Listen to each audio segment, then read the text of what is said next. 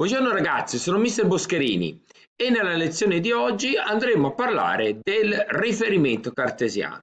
Quindi eh, nella lezione di oggi andremo a riprendere un argomento che avete già affrontato nel primo anno eh, del corso di matematica, quindi rappresenterà essenzialmente un ripasso che poi andremo ad approfondire nelle successive lezioni di questa unità sul piano cartesiano. Scopo della lezione di oggi sarà eh, vedere insieme elencare le componenti di un riferimento cartesiano, poi vedremo come rappresentare un punto in un riferimento cartesiano date le sue coordinate e infine prende il procedimento inverso, ovvero in cui ho un punto rappresentato sul, sul piano cartesiano e vedere di capire quali sono le sue coordinate.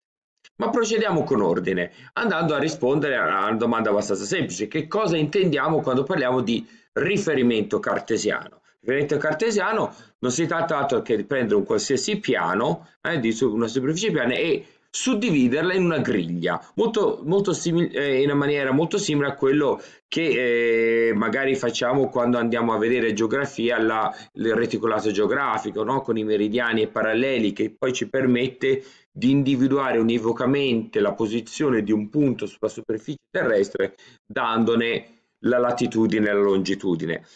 Un sistema molto simile è quello che si fa nel piano, appunto con questa griglia di linee orizzontali e verticali. Pertanto nel riferimento cartesiano, nel per essere più precisi nel sistema di riferimento cartesiano, per identificare la posizione un punto qualsiasi mi basterà una coppia di numeri. Eh? Quindi come si faceva per latitudine e longitudine, così possiamo fare nel piano cartesiano, identifichiamo la posizione di un punto attraverso solo due numeri, il primo che mi darà la sua posizione orizzontale e l'altro che mi darà la sua posizione verticale. Ed ecco qui disegnato un esempio di eh, riferimento cartesiano. Il riferimento cartesiano parte dal disegnare due assi, eh, che, sono, che sono due rette, una retta orizzontale e una retta verticale. Una piccola annotazione riguarda come disegniamo queste rette.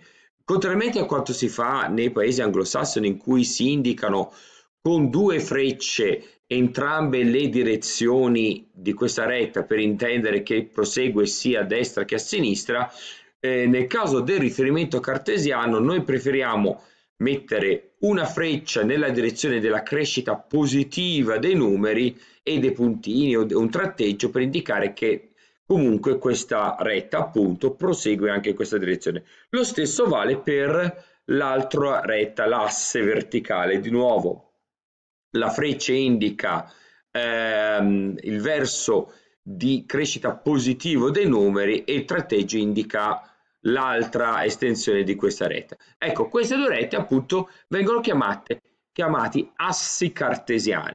In particolare l'asse orizzontale viene chiamato asse delle ascisse o più semplicemente asse delle x, ma è importante che voi conosciate entrambi, entrambi i termini. L'asse verticale si chiama asse delle ordinate, meglio noto come asse y. Quindi di volta in volta potremo parlare di ascisse ordinate oppure di x e y. Il punto in cui i due assi si incontrano viene chiamato origine eh, origine di entrambi gli assi, origine del nostro piano cartesiano e normalmente lo indicheremo appunto con la lettera O. E cominciamo subito con un esempio semplice semplice. No? Voglio rappresentare un punto sul piano cartesiano e in questo esempio ci limiteremo a considerare solo la parte in cui sia i valori delle ascisse, cioè delle x, sia i valori delle ordinate, cioè delle y, sono positivi. Quindi consideriamo questo questo solo quadrante, poi andiamo a vedere poi gli altri tre quadranti e voglio rappresentare il punto A di coordinate 3, 2. Questo è come si legge questa scrittura, no? Punto A di coordinate 3, 2. Ehm, questi, questa coppia di numeri, notate che è separata dal punto e virgola, non dalla virgola, perché c'è il rischio che venga confuso con eh, la virgola dei decimali, rappresentano appunto le coordinate. Il primo numero rappresenta la coordinata orizzontale, ovvero la x, ovvero la scissa del punto A, il secondo numero rappresenta la coordinata verticale, ovvero la y, ovvero l'ordinata del punto A. Con questi due punti ho individuato univocamente dove si trova il punto A. Le coordinate 3, 2 ovvero identifico un unico punto sul piano cartesiano, non c'è ambiguità, non può essere un altro punto. Come si fa? Semplicemente io comincio muovendomi lungo l'asse orizzontale, dal momento che questo numero è positivo, mi muovo dall'origine verso destra di tre unità, notare come per esempio in questo, in questo caso ho scelto come unità due quadretti, cioè ogni due quadretti rappresentano una unità, no? Quindi mi devo muovere di 6 quadretti, ovvero 3 unità, e poi mi devo muovere verticalmente per, di due posizioni perché questo è quello che mi dice il secondo numero. Il numero 2, il secondo numero è positivo, quindi dall'origine mi devo muovere verticalmente verso l'alto. Il punto di incontro di questi due movimenti è appunto dove si trova il punto A. Um, Un'altra nota riguardo a come poi rappresentiamo il piano cartesiano è sempre importante ricordarsi che i numeri eh, vanno scritti sempre, magari almeno il numero 1 che ci dà un po' la scala, il numero 5, il numero 10, però se riuscite a metterli tutti è meglio, è un, diciamo, date un'informazione più completa di quello che è il vostro piano cartesiano. Ecco, accennavo prima al discorso dei quadranti ehm, utilizzare due assi, uno orizzontale e uno verticale, mi divide il piano cartesiano in quattro eh, regioni uguali. No? Queste regioni noi le chiameremo i quadranti e, e ehm, la convenzione vuole che si cominci la numerazione, notate come sto usando i numeri romani, cominciando dal primo dal quadrante in alto a destra, che quindi verrà chiamato il primo quadrante e da qui ci si muove in senso antiorario. Quindi dal primo quadrante mi sposto a sinistra verso il secondo quadrante, poi in basso verso il terzo quadrante, poi verso destra al quarto quadrante e poi di nuovo al primo. Ora, cosa hanno di particolare i quattro quadranti? Hanno di particolare che i punti in questi quattro quadranti, scusate, le, le coordinate dei punti, questi quattro quadranti, saranno caratterizzate ad avere sempre o valore positivo o valore negativo e ora vediamo quali sono le combinazioni che abbiamo a disposizione. Cominciamo con il primo quadrante. Come abbiamo visto nell'esercizio precedente, eh, un qualsiasi eh, punto che si trovi in questo quadrante sarà caratterizzato dall'avere la scissa, ovvero la x, positiva e anche, e anche eh, l'ordinata positiva. Quindi io scriverò che nel primo quadrante i punti del primo quadrante saranno caratterizzati da avere entrambe le coordinate positive. Se poi ci spostiamo nel secondo quadrante vedremo che nel frattempo le y sono diventate negative. Quindi un qualsiasi punto sul secondo quadrante sarà caratterizzato dall'avere la scissa, ovvero la x negativa, ma l'ordinata ancora positiva. Se scendo poi nel terzo quadrante, ecco vediamo che entrambe le coordinate, sia la scissa che l'ordinata, sono negative.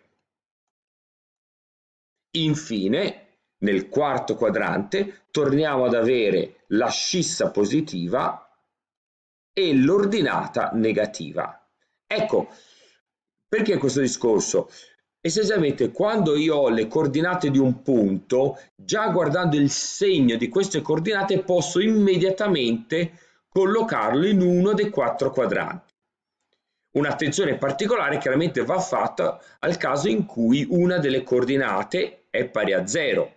Questo significa ovviamente che il punto si troverà su uno dei due assi in particolare se ehm, che so eh, si tratta di un punto che ha la prima coordinata uguale a 0 questo punto si troverà sull'asse delle y Nel caso in cui invece sia la seconda coordinata, ovvero l'ordinata pari a 0, esso si troverà sull'asse dell'x e ovviamente il punto che ha entrambe le coordinate pari a 0 non è altro che la nostra origine. Chiudiamo questo video con un breve esercizio. Ora, come vedete, ho di nuovo il mio piano cartesiano con i eh, quattro quadranti e abbiamo quattro punti, punti A, B, C e D eh, collocati nel nostro piano e dobbiamo scoprire quali sono le coordinate. Ecco, questo è un buon momento in cui potete mettere, mettere in pausa il video e cercare da voi di, di capire quali sono le coordinate di questi quattro punti. A questo punto cominciamo con il punto A. Il punto A ha la coordinata orizzontale 5, quindi sarà di coordinate 5 e quella verticale, andiamo a vedere qui, è pari a 1, quindi A è di coordinate 5, 1. Il punto B è un punto particolare perché come vedete si trova sull'asse delle y e come ho detto prima questo significa che intanto la sua coordinata x, la sua sciss è pari a 0, la coordinata verticale invece è uguale a 3. Scendiamo al punto C. Il punto C, la coordinata orizzontale, la sciss è meno 4,